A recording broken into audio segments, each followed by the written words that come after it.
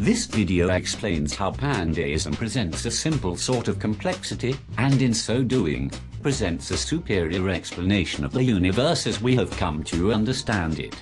The concept of a finely tuned universe is employed in theism and other philosophies, theorizing a created universe, as well as in pandeism. And yet, under theism, there is no reason that humans should be able to overtake the laws of nature itself and use them to create even better life forms than those that already exist. Does it not strike you as odd that we are having this conversation, typing philosophy into laptop computers in coffee shops in a universe that permits this?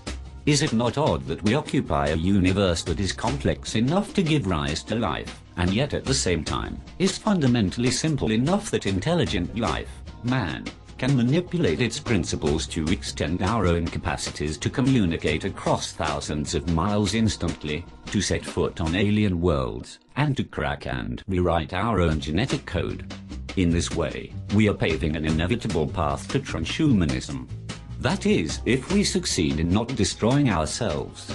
If we fail in not destroying ourselves, we may still rest assured that the capacity for an intelligent species to engineer itself to progressively higher states exists universally, and perhaps another race on another world will do a better job. For the theist, man should have been perfect as created, and the laws governing the universe should not be so simple as to be conquerable by man.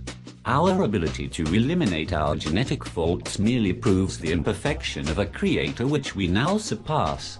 On the other hand, there is atheism, which offers no reason why the universe should be either complex enough to generate life, or simple enough for us to manipulate. And finally, there is pandeism, which supposes that our Creator did not create us as perfect at all, but merely created a universe in which intelligent life would arise and gather experiences in which it could share. This purpose is served, and not disproven, by the ability of intelligent life to crack the code of the universe itself, and to transform itself into new and superior forms.